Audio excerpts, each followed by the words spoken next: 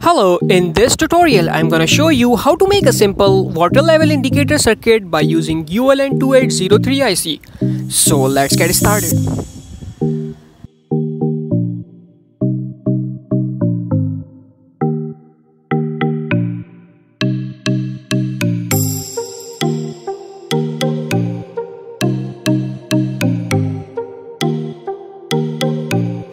This video tutorial is sponsored by PCBWay.com.